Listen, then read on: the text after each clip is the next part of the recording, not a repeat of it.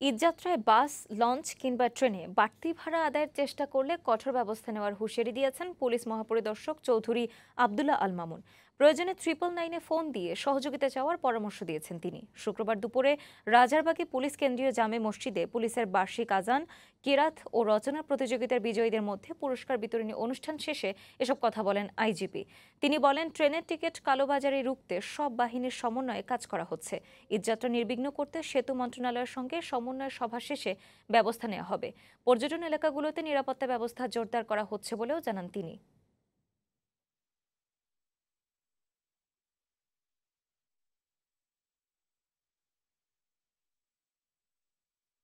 যে কেউ যাত্রীদের হয়রানিমূলক, হয়রানি করার জন্য কোনো অপতৎপরতা চালালে তাদেরকে আমরা হুঁশিয়ার করে দিতে চাই।